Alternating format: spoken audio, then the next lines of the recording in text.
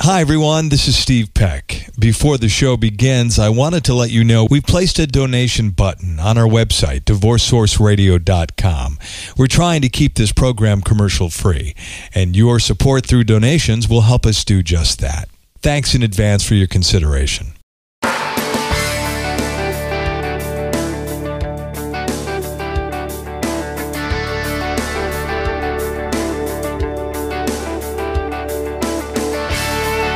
Hi, and welcome to Divorce Source Radio, your source for information related to divorce. I'm Steve Peck, and on today's program, we're inviting the host of The Smart Divorce on Divorce Source Radio, Deborah Moskovitch, to join us. It's great to be online with Steve Peck. it's it's uh, different than hosting your own show, isn't it? It's wonderful though, because I, I, I love talking to you about divorce and the many different aspects, and you make me think. Mm-hmm. And isn't that what we need to do? Is just think about how we can help people. We need to think more, and that's kind of what we're doing today in the show. Uh, the title of the show is "Mistakes People Make During Divorce," and we're going to talk about that. But I want to tell our listeners, a lot of them who've been listening to the Smart Divorce Radio Show, you've been on hiatus for just a little bit as we've gone through the summer, and and you've been busy with your family, but you will be coming back with more Smart Divorce shows very soon. Correct? I will be coming back with lots of smart divorce shows very soon. As a matter of fact, I've got a great roster of guests lined up. So tune in weekly and you will hear such fabulous guests and ideas and, and concepts. And if you want to listen to some of her past shows, just visit divorcesourceradio.com, look through the archive, search The Smart Divorce with the one, the only Deborah Moskovitch, and you'll find all of her past shows, some really cool ones too. But let's get into mistakes we all make during the divorce process, Debbie. What I've been finding in the last few weeks is all of a sudden my phone has been ringing off the hook, which is really wonderful for me.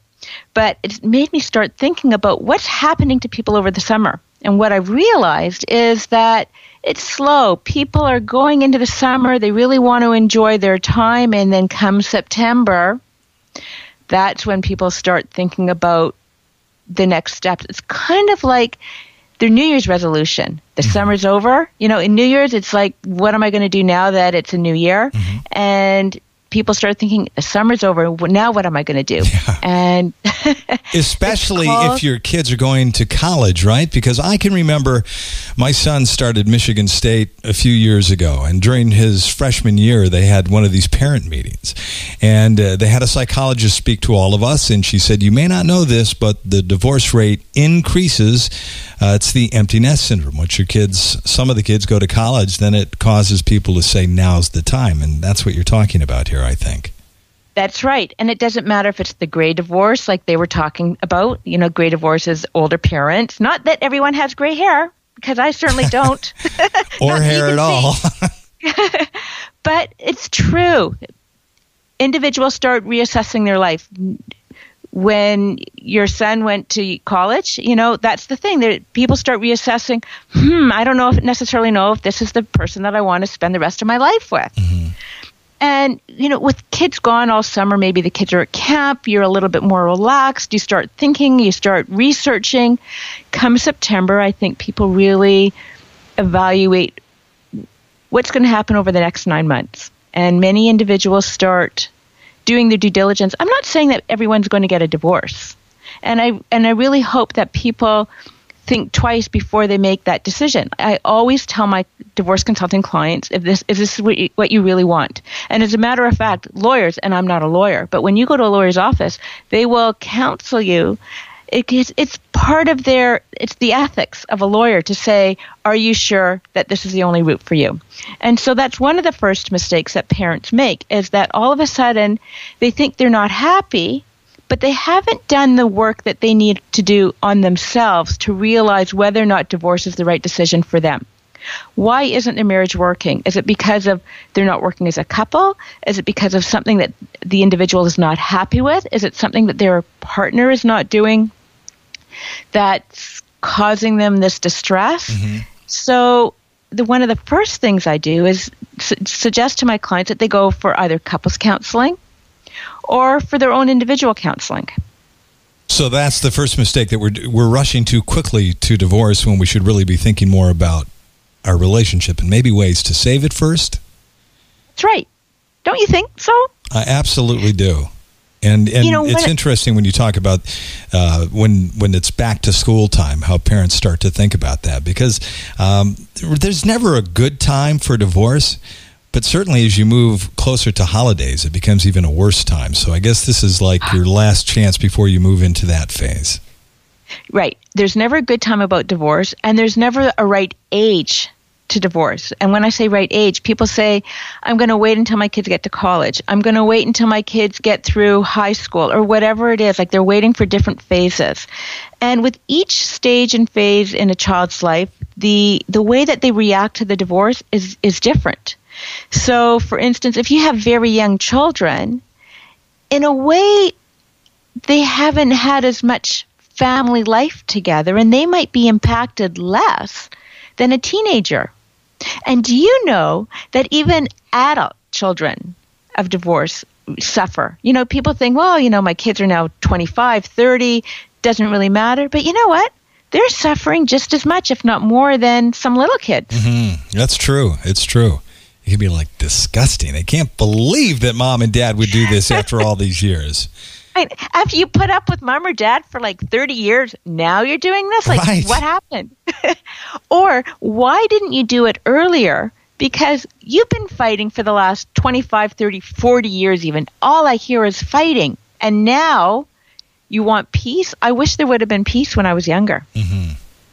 Yeah, actually, I, I think the best window is is from birth to about three years old, because a lot of the kids just don't really understand what's going on beyond that. Yeah, you know, you've got a good point. So it kind of becomes a way of life for them. Right. And maybe if you're young enough, your children are young enough, uh, oftentimes people remarry or get into a significant relationship.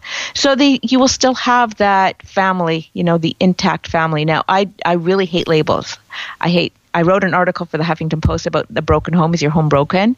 And I couldn't believe the response I was getting from people mm-hmm. because mm-hmm. I, I hate that label of a broken home. So just because there's two parents at home doesn't necessarily mean that their home is intact and somebody else's isn't because there aren't two parents living at home either.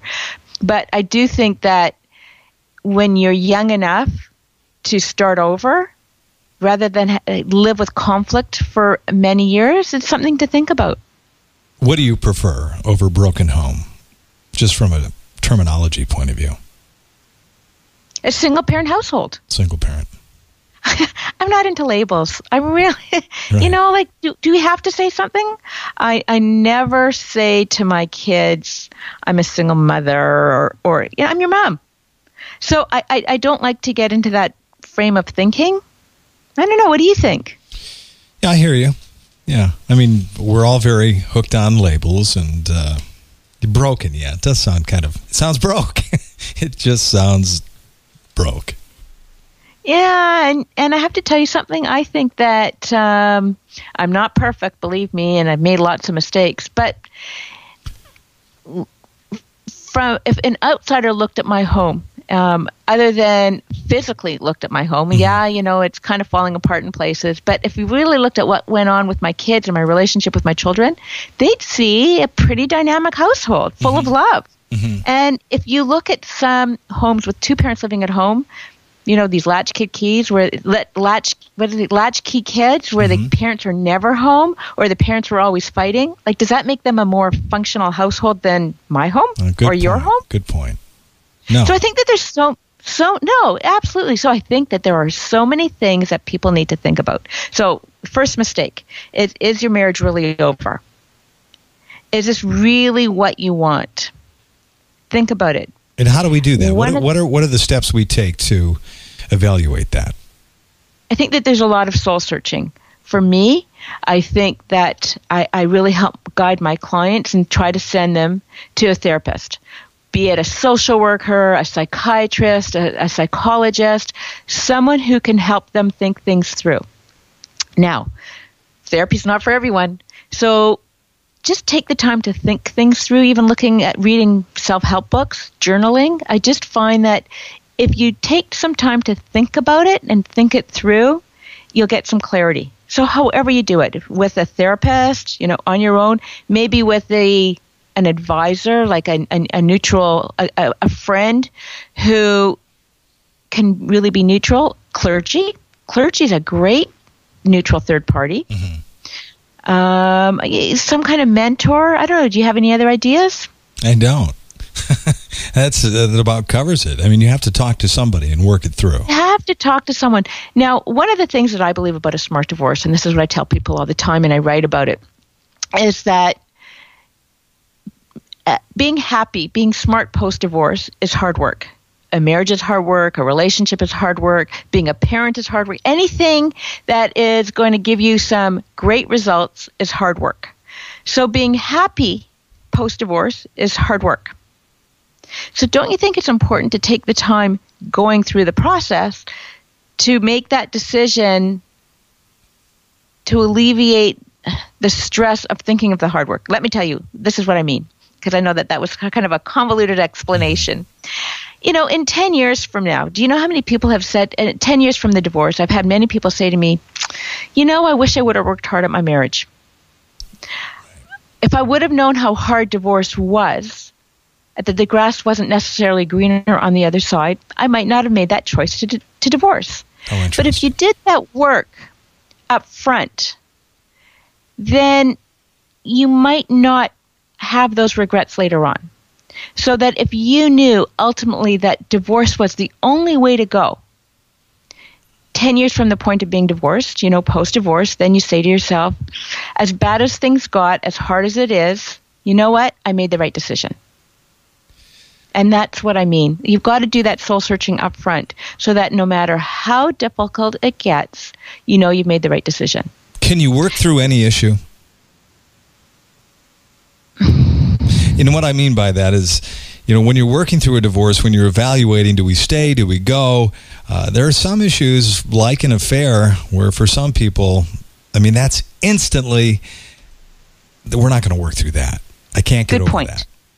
I tell you what, when you lose trust, respect, and you have no communication, what kind of relationship is that, right? So, an affair is something that will be the catalyst for many to choose to leave the marriage.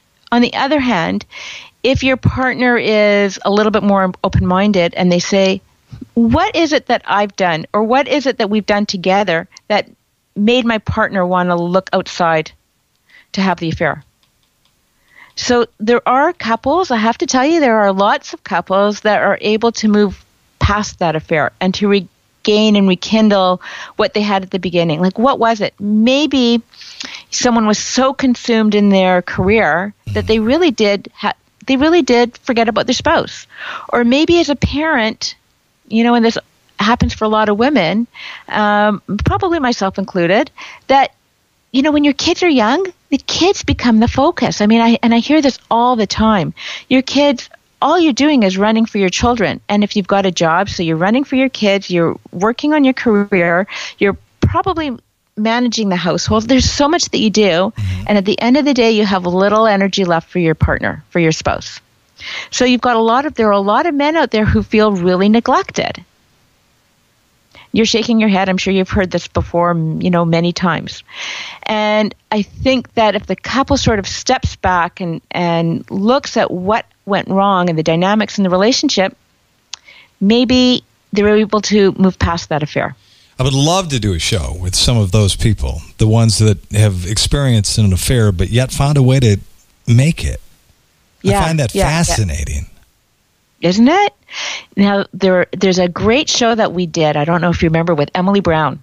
Mm-hmm. And we talked about the anatomy of an affair. So if our listeners today are in that situation and want to know more about affairs and explore more about affairs, I think that's a great show to listen to. Mm-hmm, the Anatomy yeah. of Affair with Emily Brown. So that's one thing. You've got to do the soul searching up front. The next thing, what are some of the mistakes? I think that people need to be more aware of their finances. How many people do you know divorce without having any clue about their finances? Oh, tons. Now, and in just a minute, forget about getting divorced. How many people are right. in marriages that exactly. have no clue about their finances. Now, I will tell you, I met with a broker a while ago, and she said to me, "That's a really good. That's a really good thought."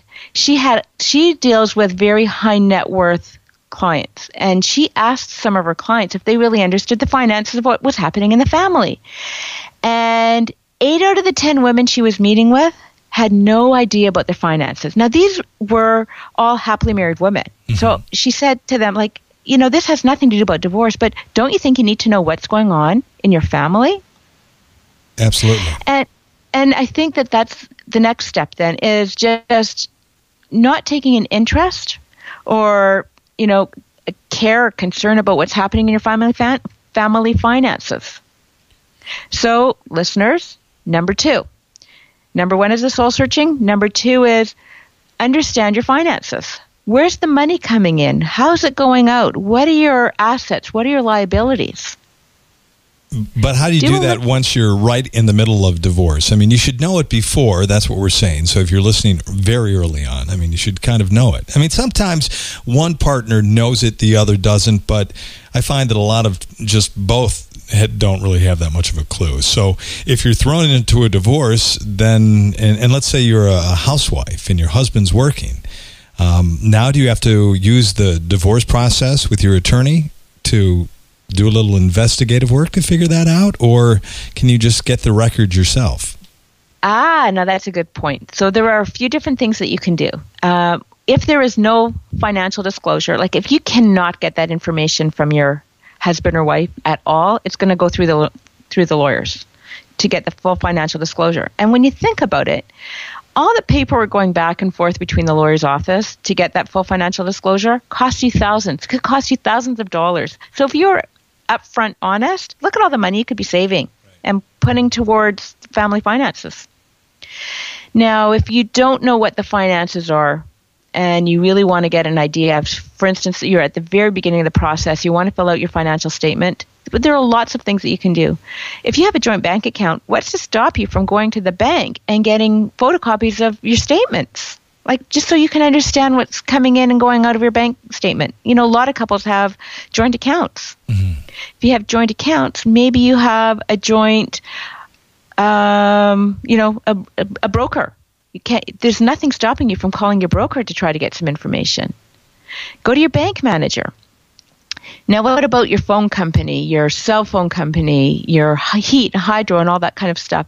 You know, maybe the files are at home, there's nothing to stop you from looking at the files. I'm not saying to be nosy, but hey, you know, you have a right to know how much it costs to run your how, how much it costs to run your home. Mm-hmm. Or if you can't find that information, why can't you call the hydro company yourself, the heat company, the phone company? Like you can make those phone calls too and get at least a rough idea of what your expenses are on a monthly basis. Right.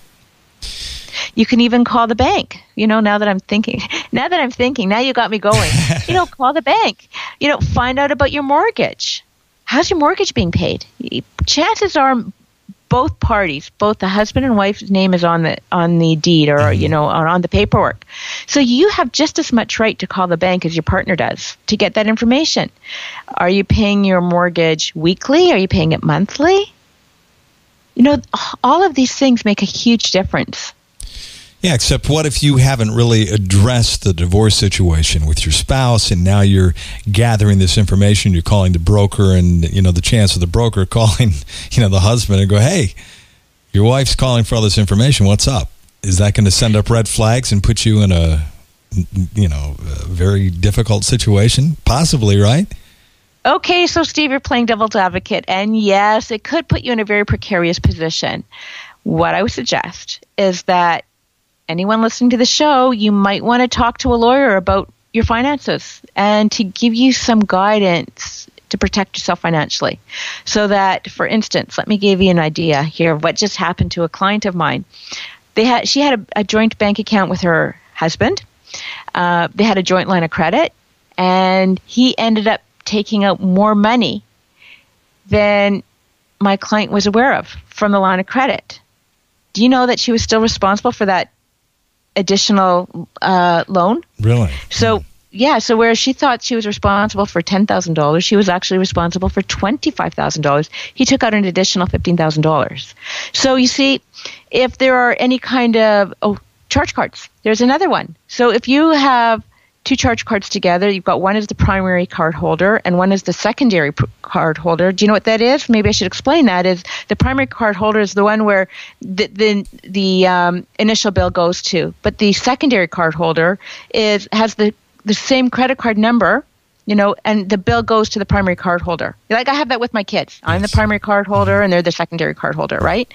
So oftentimes somebody's thinking about divorce and will end up putting huge expenses on their credit cards. Like I heard someone going out and buying twenty thousand dollars worth of jewelry, or having uh, quite a bit of um, plastic surgery done. You know, you know, and and they're preparing their bodies for the divorce.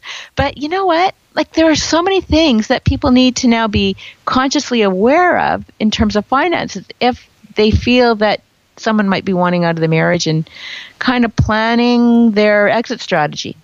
So that would definitely be a mistake from what I know is to when you when you think you're getting a divorce to go access funds and take money out because when you get to court that's all going to be coming back at you in aces. That's what I've heard. The judges don't like the fact that you would start draining a bank account. Right. And tisk, tisk, tisk on you. Because you don't want to encourage people to go to court either. And as a matter of fact, that's the other mistake that people make is that they think that this is just going to end up in court. But there are so many other alternative dispute resolutions, alternative alternatives to court that people can pursue. So if you're thinking about it, and another mistake people make is not arming themselves with as much information as possible about divorce process. So why not consider just negotiating a, an agreement through your lawyers? You know, like do it amicably, or do it through mediation a lot of people like that seems to be a trend I, I find these days is that people want to mediate their own divorce and using a mediator as a neutral third party who's going to help the couple come to um, a decision together. I mm-hmm. like you're both involved in what the outcome is going to be. Mm-hmm. So there's mediation, there's collaborative family law, and those are lawyers, collaborative lawyers, or they're they're especially trained in collaborative, where they they've signed an agreement with the clients that they're not going to court, and if there breaks down in any way, then the lawyers are off the file and new lawyers are brought in and okay so then you're probably going to go to court. But collaborative lawyers the mindset is they are so settlement oriented and that's the mindset that I try to get my clients into is that they want to be settlement oriented. You don't want a battle. What happens in a battle if you go to court is that especially if you've got children, you're going to have to have this relationship with your co-parent for forever. You know, you think, well, you know, once my kids are in university, I'm not going to have much of a relationship with them, but you're going to have grandchildren, you're going to have weddings. There are always going to be opportunities for you to see your partner. So can you imagine going to court and reading these affidavits of statements that are just horrific? Mm-hmm. You know, kind of saying things that might have a, an element of truth, but really um, what's the word I'm looking for? It's got an element of truth, but they they're really embellishing it to oh, make it yeah. sound like you're like you're an ogre. All of a sudden, this pimple becomes, you know, a huge tumor. So imagine then reading all this stuff in court. Your relationship is toast. Not only is your relationship toast, your relationship with the kids for one of the parents usually disintegrates a little bit in litigation versus mediation. And there's a great study. Bob Emery did a study, Dr. Robert Emery. And if you look at his website, Emery on Divorce, mm-hmm. there's a great study on mediation versus litigation. And it shows the relationship between a parent and a child, and it's usually the father. Um, in litigation versus mediation. So, when the relationship is, when the divorce is litigated, a lot of the fathers don't see their children about four years after the divorce I, th- I think those are the numbers. I, I can't really remember 100%, so that's why you got to go to the study. Mm-hmm. But the amount of time that they're spending with their children and now adult children is probably minimal compared to a parent who is litigating. So you got to look at like all of the outcomes of the on the family. Yeah. So the huge mistake is to think that you're just going to go to trial and uh, yep. don't you know don't let a judge make the decision for you. It's never the way to go. And you know what? Once you get to trial, don't you find that with your clients, the majority of them, the outcome is really no different once a judge decides. Had they have just sat down and through mediation and worked it out themselves. That's an excellent point. That is almost always the case what's going to happen. And you know what? Like when you litigate, it's the judge is making the decision. So even though it's going to be it could be roughly like the outcome could be roughly the same as what you mediated. Look at the thousands of dollars extra you spent to litigate. Yeah. so there's a huge financial cost and a huge emotional cost. It's really emotionally taxing going to court.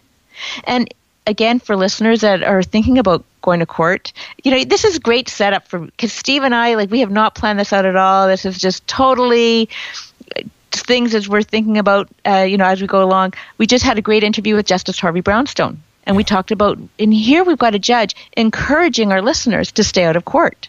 Yeah. You've got a stranger making decisions for you. Why do you want that? Now, the other interesting thing is only less than 5% of cases go to a full blown trial. So you can think you're going to court and you're going to have your day in court. You're going to be Perry Mason standing up there and there's going to be this aha moment and everyone is going to see that your partner is so wrong and deserves to be fried. But you know what? That's not what happens. Usually the, the judge is encouraging the couple to settle and to mediate and to settle and to work things through. So, you know, you're never really going to have that vindication that you think you're going to have. You know, that's that's the truth. And it doesn't go to a full blown trial. So oftentimes people settle, you know, what do they say in the shadow of the court the shadow of the the shadow of the I haven't been doing these shows for the last three months. you have to excuse me when I'm stumbling over the stumbling over my words. Um, but that's what they're talking about is that so many times you're so close to settling and you'll end up settling with that threat of trial above your head. There's always the threat of trial, even in my divorce. You know, we really never, or I never had any intention of going towards trial. I don't know if she did, and it, gets very costly. And in our case, it wouldn't have made a lot of sense. But um, I was new to the divorce process, and uh, I'm seeing all the paperwork come through from the attorneys, and they plan as if they're going to trial, right? Because you get the interrogatories, you get a list of who they'll be calling in trial. Even though they're not going to trial, this is just part of the due diligence of the attorneys to put together the case just in case it does. But for me, that didn't know what the hell was going on, now I'm seeing all of this stuff, and that took me to a whole different level of anxiety because I don't know that this is just protocol. I just see the paperwork. I hate it the, envelopes the from the attorneys. Yeah, you know how you just kept getting the lawyers' letters. I didn't even want to open the damn things. And then I'm seeing trial list, and on the list I'm seeing family members and and people my ex had selected to appear in trial. And then my mind's going, what the hell are they going to be talking about? What if you know? I, you know, you're trying to. Your mind is just racing at a million miles an hour Uh, okay, now let me let me point something out to our listeners. So Steve here, he is just reliving this. He's been through it. He's moved on. He is so past his divorce, but yet thinking about the court system is making you so angry. So can you imagine then when you are in that court system how angry you are?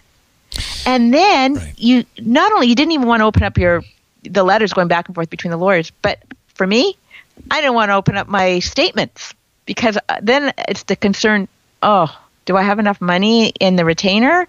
Am I going to have to write yet another check? Like, it's so costly. Do you know what I did? And that, what? I didn't open them. I threw them in the corner. I threw all the stuff from my attorney in the corner. Okay, I, I, so I, I, think I was in a, a state of depression where I didn't want to. I didn't want to look. I didn't care. I didn't care what happened anymore it was just all too much, and I wanted it to all end. And and you mentioned how emotional we can get even talking about it now. But someday we really need to address how emotional and how detrimental to our health this can be. I mean, I learned that firsthand. I've never mentioned it before on Divorce Source Radio, and our listeners don't know about my situation. You know about it.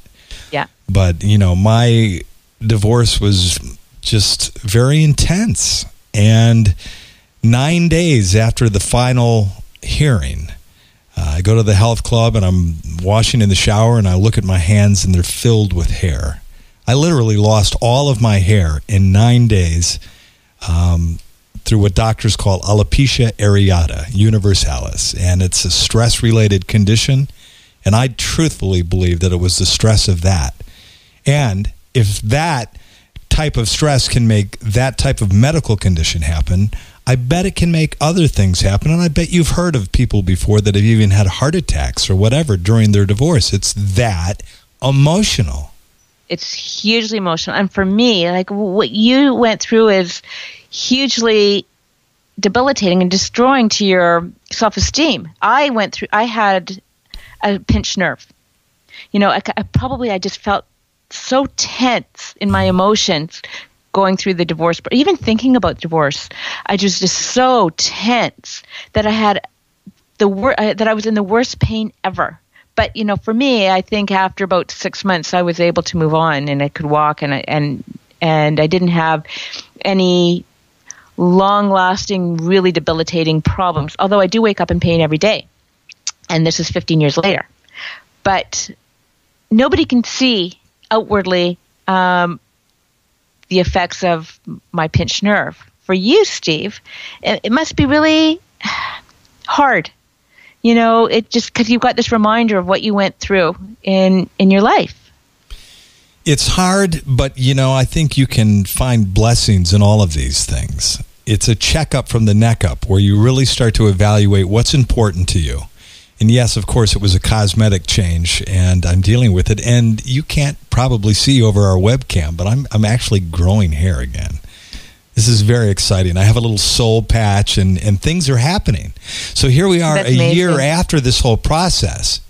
That now the body's starting to get back to normal and make things happen. But the whole message that we've kind of slid into here, Debbie, over talking about the mistakes people make, I think is is so important to listeners. If you are listening to this program now and you're just entering the process of divorce, I mean, you- you're listening to two people that have been this path, that have been it in a very emotional way. Debbie, to the point where she's doing her whole life around it with her book, The Smart Divorce, and at touching all the lives uh, through the smart divorce. And me through the radio, you know, trying to help other people. So this is your chance to really listen to what we're saying and really understand that there are no winners in divorce. I mean, there's no point in my mind of even trying to go to trial with just but a few exceptions. Yeah, yeah. Now, you, you one of, I would just want to go back a little bit. One of the things that you said to me was, did you ever think that there are times that you shouldn't consider that you should consider divorce like it's no brainer that this is what you have to do?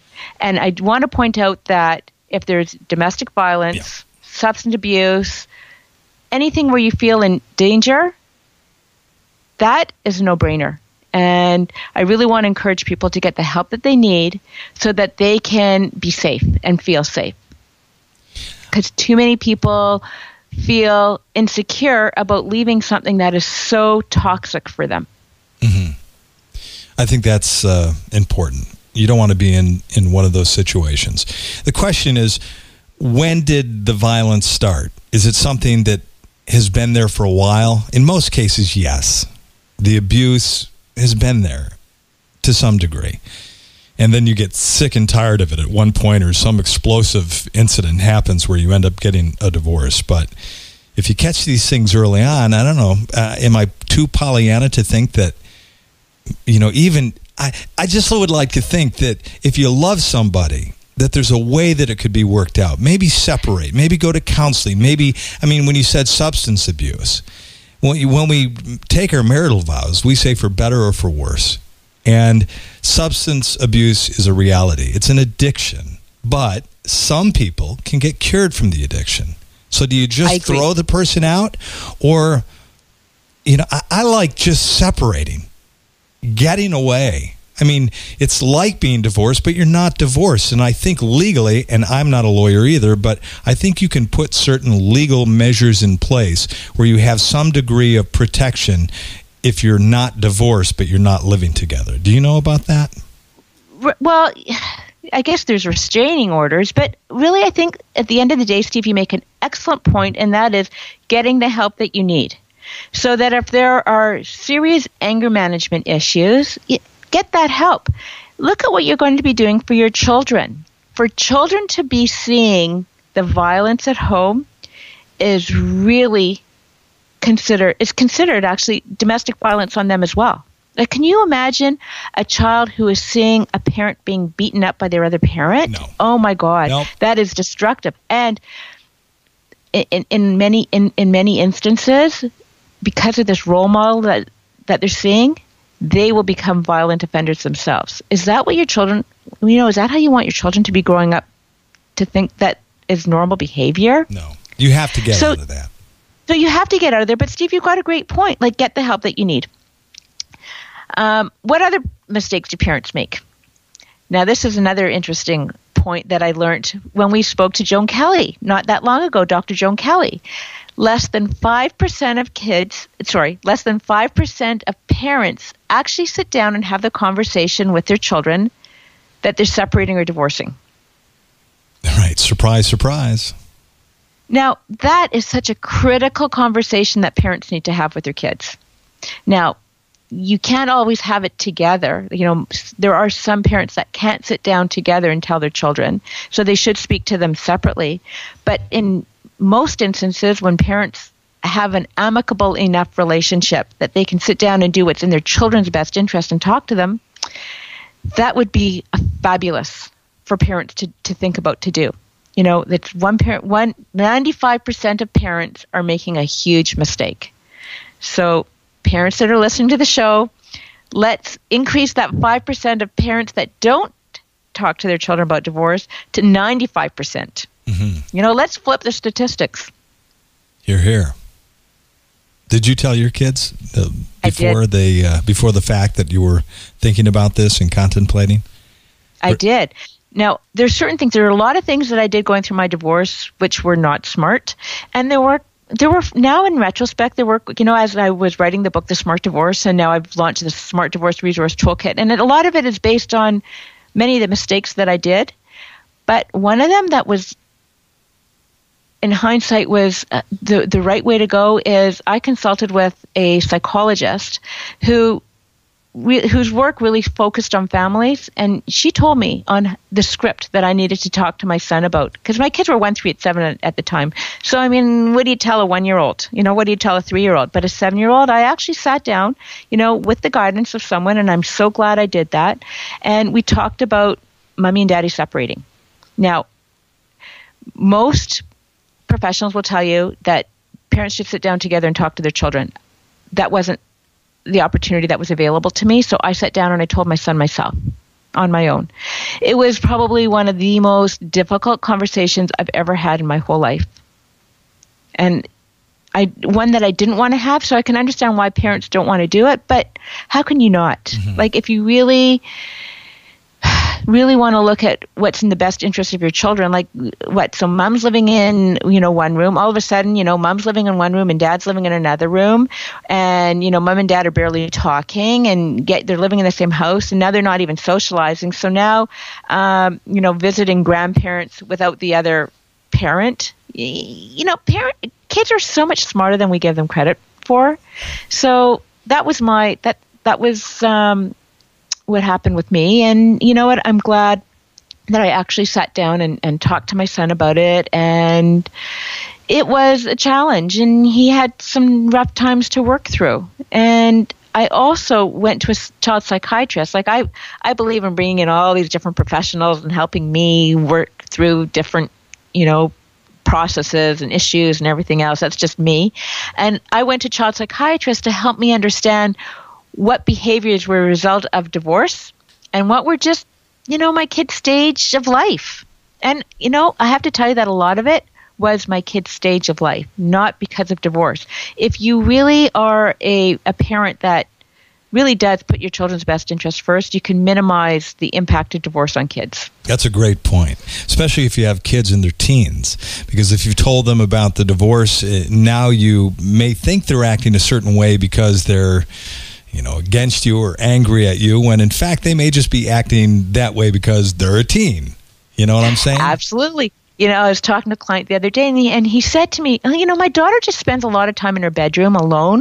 And I said, your daughter's spending a lot of time in her bedroom alone because she's probably BBMing her friends on her BlackBerry, and she's on her computer doing, you know, I don't know, watching some shows. Like, I, I just know this for my kids. They're not acting out. Like, if parents think that their kids are spending so much time with their co parent at their home and they're not spending any time with you, let's do a reality check here. Teenagers, as close a relationship as you have with your kids, their focus is on their own social relationships, not on their parents. Mm-hmm. So you have to come to that understanding. You know, my kids are away. I'll, I'll, tell you a funny story. Like here it is. My kids are away at overnight camp. They're both counselors, and this was their summer job. And and already they're coming home. They're not looking to spend some quality time with their mother and their father. No, no. Already they come home on Friday. Saturday there's a camp reunion, and Monday there's a big camp party. You know, like they spent the whole summer with these kids, and all of a sudden, like they're going to miss them after two days, but they're spending like, you know, the whole week. So they're not planning their time to spend time with mom and to spend time with dad and when they're going to see all these other people. No, no, now they're excited to come home and catch up on the last 24 hours that they didn't get to sleep over and, you know, the cabins together. So teenagers are fickle. You know, mm-hmm. teenagers are really self centered and they want to focus on their social life. And you know what? Good for them. You know, that's what they should be focusing on, and that's healthy they shouldn't be worried about is mom okay and is dad okay. Right. I, I can see how we might amplify that though when uh, we're going through a divorce uh, because it's tough when you're as a couple and your kids are all of a sudden now more distant to you because they've got their own life but you've still got your spouse but when you're new to a divorce and now you're at home alone perhaps and you know the kids are around but they're not choosing to be with you it's you know you're amplifying that they don't want to be with you. Yeah, that's true. And you know what? And I don't want to minimize this at all. Your children are hurting just as much as you're hurting. And they might even be hurting more. I mean, their world has just been rocked. The the rug's been pulled out from under their feet. You know, like here it's not status quo anymore. And now there's a lot of concerns, especially for teenagers. What's going to happen to my social life? What's going to happen to, you know, our finances? Like, where am I going to be living? Like they've got all of these concerns. Mm-hmm. And parents need to really understand too that kids are smart. And I've seen kids play one parent against the other. And so you have to be um, really cognizant of that. And I've also heard, you know, you've got these teenagers who are saying to mom, I'm going to be at dad's tonight. And they say to dad, I'm going to be at mom's tonight. where, like, you know, they're really at a boyfriend or girlfriend's clever, house or they're doing clever. something that they know that mom doesn't want them to do or dad doesn't want them to do. So you really, you really do have to be a little bit more in tune with what's happening with your kids. And that's where you're at a disadvantage if you don't have a relationship with your ex that you can communicate about that, because that's kind of a mistake. You both think they're somewhere else and they're not, and there's no checks and balance. I know. And the other thing that is um, really difficult if you don't have communication with your co parent, as they say, um, is that if your child acts out in a way, like I was speaking to a client the other day, and you know what? His daughter's 16 years old. She was caught smoking pot with friends. And the mother said to the father, It's your fault she was on your watch. But you know what? This you know, his daughter was out with their friends and it could have happened just as easily on her watch. Mm-hmm. And or could it just happen just as easily have they been married?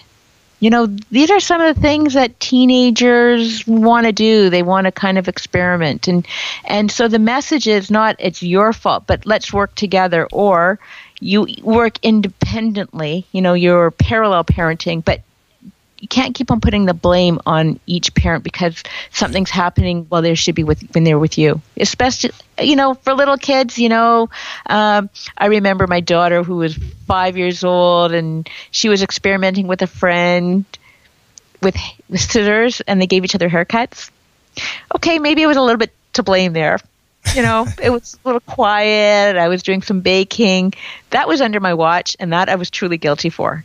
But, you know, for something for a teenager where you cannot monitor your kids 24 7, I think you really have to work really hard at co parenting together.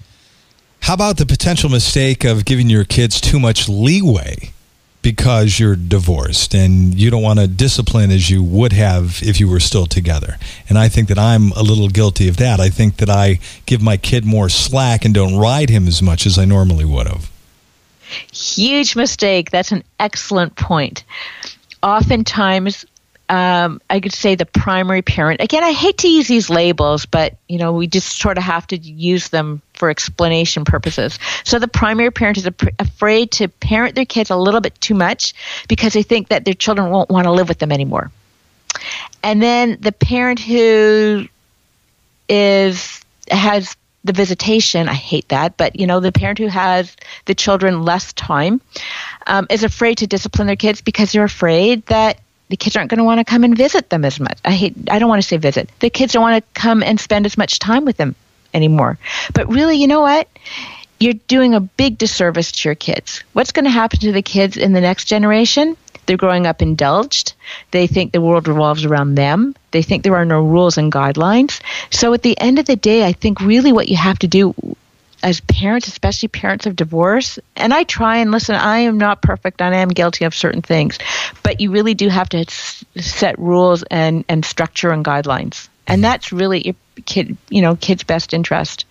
Kids will push parents. So, you know, it doesn't matter if parents are married or divorced. Kids will push parents as far as they can go. Kids will push a divorced parent that much further because they know that sometimes that there's a little bit of guilt. You know, there's a little bit of hardship there and and kids know that they can get away with it.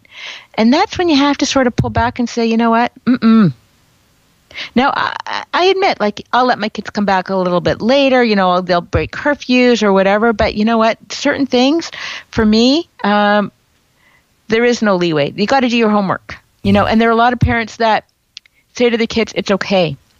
You don't have to do your work. Because as a matter of fact a lot of kids at the beginning of di- the divorce process, their marks fall quite dramatically. And you know what? Being emotionally, you know, being an emotional um, trauma, that can happen, but not two or three years post divorce. Mm-hmm. To say that that's okay anymore, you've got to really focus on certain things, and and to say that it's not okay to, you know, it's okay not to go to school. You know, I've heard that. You know, Johnny doesn't want to go to school today, so I'm going to let him stay home what what's that about? Right. You know, or uh, you know, Mary doesn't want to go visit, you know, mom today or, you know, dad today. She just has a headache. You know, like what's that about? So I think that you do really do need to have some rules and structure in place. And you know what? I will tell you, I feel that your children will respect you more for it. So keep a proper level of discipline, but on the other side of that coin, don't try to buy your kids. You know, we've talked about on some of your programs before where the dad wants to buy the kid uh, the 50 inch big screen, where before when they were married, they didn't have that. And the mom wouldn't, and mom and dad wouldn't allow them to have it in his room. And now he's got that, and he's got the game station. And, and, uh, I forget who the guest was that was talking about this, but she said the older kids are even more vulnerable because uh, you know dad will buy him a car or whatever if you stay with me. So don't that's a real big mistake. That's bribery. And again you're you're creating these indulged kids. So that's called the disney dad you know where eh, sorry dads it could be a disney mom i guess too for um, you know for a mother. But you don't want to buy your kids. Like, what messages are you sending out to your children that if you do things my way, I'm going to buy you X. If you do thing, if you don't do things my way, then you're not getting it. Or if you spend more time with me, then you're going to get Y. You're going to get that big screen TV. You're going to get that Xbox. I'm going to buy you that iPad, whatever it is. You should be doing these things the same way you would be doing them when you were married. Mm-hmm. You know, and you know, and and I remember. No, but the hard thing is if you were, you know, parents had different values. So, like, let's use the TV as as, uh, as an example. You know, there are some parents that say, "I don't think there's anything wrong if you know my kids have a TV in their room," and during the course of the marriage, the parent that said that kind of lost out on that battle, and the kids didn't have a TV in their room. Yet, when the divorce happened, kids get TV in their room, you know, with the parent that was had that attitude that it's okay.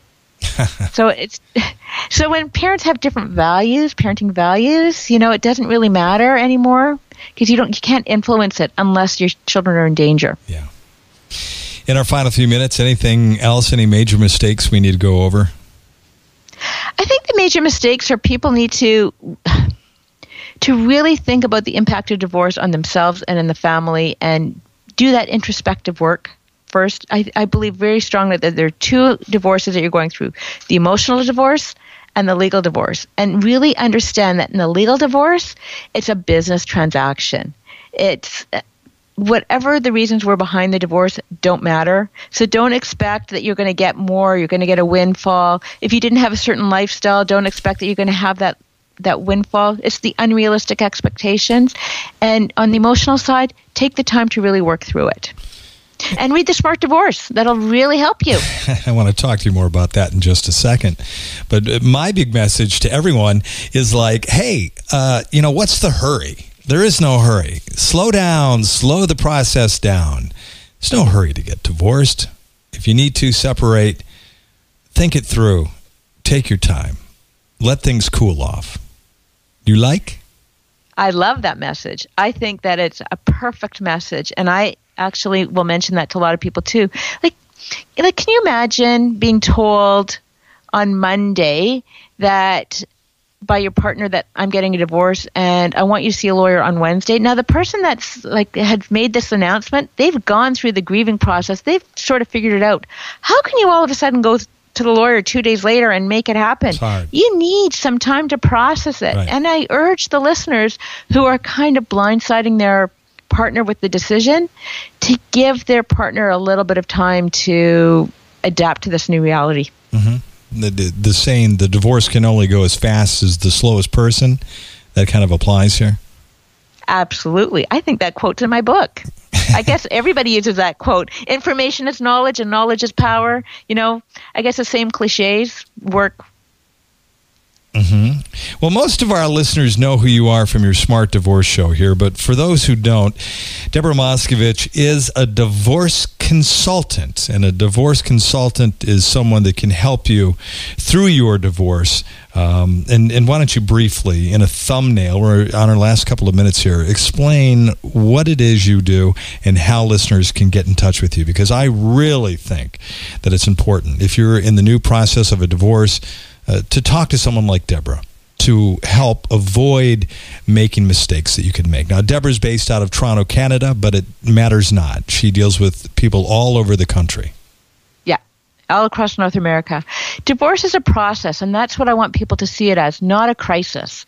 And you need to arm yourself with as much information as possible. So we talked about so many different things in the show. We talked about the financial aspects of divorce and putting your children best interest first and the dispute resolutions. Those are all the issues that we talk about in my consulting service. And so in an hour, we can cover all the the aspects of divorce. I can save you thousands of dollars by preparing you properly to go see all the different professionals. I mean, isn't it great to go see a lawyer being prepared and understanding a process rather than spending a few hours getting that information? At least you'll know the questions to ask. Oh, heck yeah. And I mean, that's no BS, people. I mean, I, this is like a guarantee. I mean, you can actually guarantee with the smart divorce that if people call you and listen to your information, it's not going to cost them. They're going to save thousands of dollars. They're going to save fact. time. You know, as as the subtitle of my book says, save time, money, and your sanity. But the other thing is, there's a lot of people that are so afraid they don't know how to work with the lawyer. They don't know of the different resources, like a parenting coordinator or um, you know, a financial planner. There's so many resources available to you, and I will refer my clients to resources across North America that are going to help them through the process. And now people will say, "Well, Deborah, it costs so much money," but it also costs a lot of money to make mistakes. And we can talk about different ways to use the individuals or to just use the learning so that it'll help you through the process more effectively. You know, at the end of the day, everybody wants a smart divorce where they learn. You know, divorce is rich in opportunity to learn and grow from, and that's what you want. Like, you know, Steve, like I look at you and and you went through a horrible time, and I went through a really difficult time too. But you know, at the end of the day, um, we're happy. You know, and that's what you want. Like, you know, ten years. I'm I've been out. Uh, divorced for 15 years. And I have to say that I'm leading a great life. You know, I don't look back with regrets. And and I think that that's what you want, you know, so that even if you make some kind of mistakes, it's learning to live with those mistakes that you've made. And, and I really try to help educate my clients. Information is knowledge, and knowledge is power. That's a lot of our show intro there. You know? but it's all true. It's all good. And your website is thesmartdivorce.com. That's right. So if anyone wants to contact me, email info at thesmartdivorce.com or feel free to call my office, 905 695 0270. Call her. You're going to save money. I mean, really. That's that's the bottom line. I wish I would have called you. I wish I would have known you were there when I was going through my divorce. Oh. What many people that's what many people said. And I have to say that for me it's um, it's really gratifying being able to help people through their divorce. Oh, I love yeah. it. It's a passion. It's a passion. And it's a passion being on this show. It's a passion to have the Smart Divorce on Divorce Source Radio, just educating people about the process. You know, divorce is so much more than just that separation agreement. Mm-hmm. Your file is closed, your lawyer moves on to the next file.